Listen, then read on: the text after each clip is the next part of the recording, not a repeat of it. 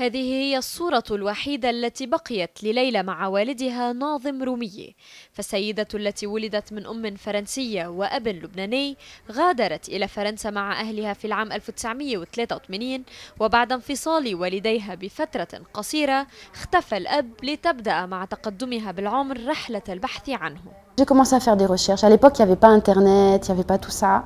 Donc, euh, c'était assez difficile. Donc, euh, je, la seule chose que j'ai fait, c'est contacter les consulats. Euh, ils m'ont dit qu'ils n'avaient pas de nouvelles de mon père. Et euh, j'ai envoyé des messages à des gens qui s'appelaient comme moi, avec mon nom. Jamais personne m'a répondu.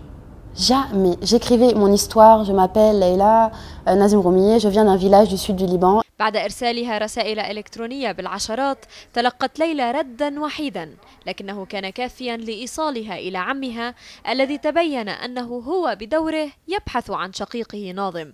فتلاشى جزء من أمل ليلى بإيجاد والدها قبل أن تتوجه إلى لبنان وتعاود البحث من جديد. Quand je suis arrivée au Liban, ils m'ont dit, euh, j'ai demandé donc où est mon père, ils m'ont dit depuis 1992, il a disparu du Liban. En 1993, donc, euh, il a contacté une amie à lui. Euh, il lui a dit de lui envoyer de l'argent. Donc, il était en Colombie. Euh, même si on me disait ton père n'est pas venu te chercher, c'est qu'il t'aime pas. Tu vois, c'est ce qu'on te dit. Et c'est vrai que moi, même si on me disait ça, dans mon cœur, je savais que c'est pas vrai.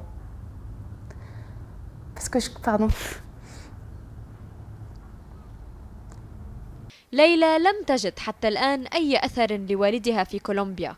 وبعد سنوات من البحث كل ما تنتظره هو خبر عن ناظم رومية أو دليل يوصلها إليه.